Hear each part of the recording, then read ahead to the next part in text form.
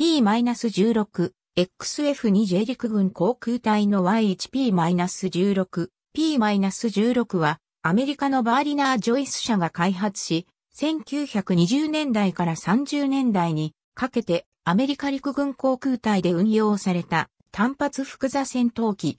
アメリカ海軍でも XF-2J の名称で試験が行われ、陸軍型も後に PB-1 と改称された。バーリナー・ジョイス社は、バーリナーエアクラフト社の資産を受け継ぐ形で1929年に設立された。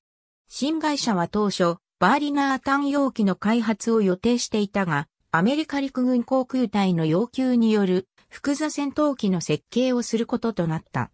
XP-16 と名付けられた試作機は1929年10月に初飛行した。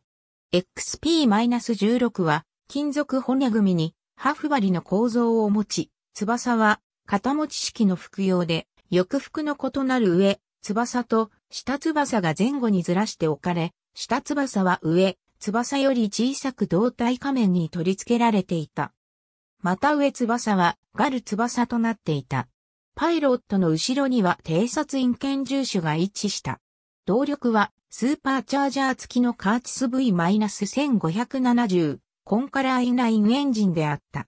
陸軍航空隊の評価試験の後、合計25機に及ぶ YP-16 の最初の2機の契約が締結された。試作機と生産型との主な違いは、スーパーチャージャーのつかないコンカラーエンジンであったことと、3羽プロペラを使用していたことであった。1931年までの間に陸軍航空隊からの発注のほか、アメリカ海軍も艦上戦闘機型 XF-2J-1 を発注した。YP-16 はアメリカ陸軍航空隊で収益した最後の服用戦闘機であるとともに、1918年以降に陸軍のために生産された唯一の複座服用機戦闘機である。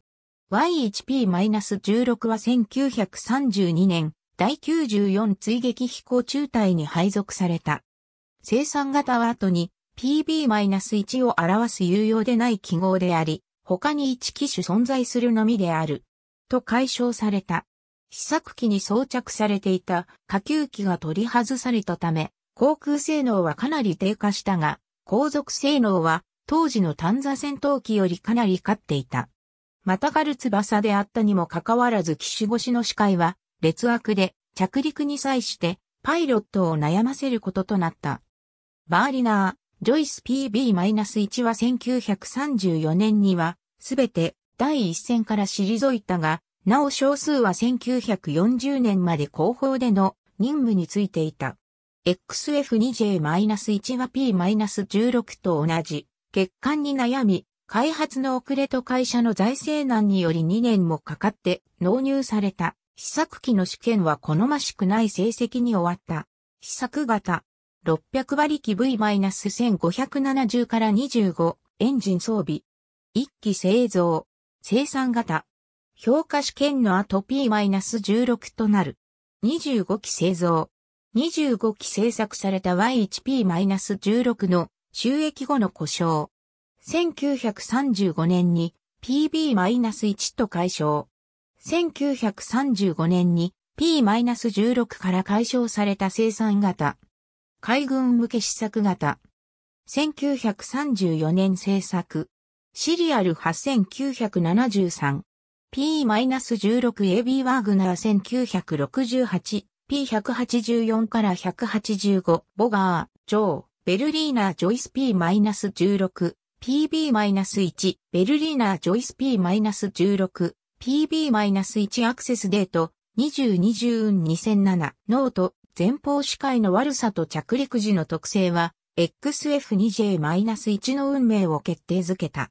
グラマン FF-1 の優位は明らかだった。ありがとうございます。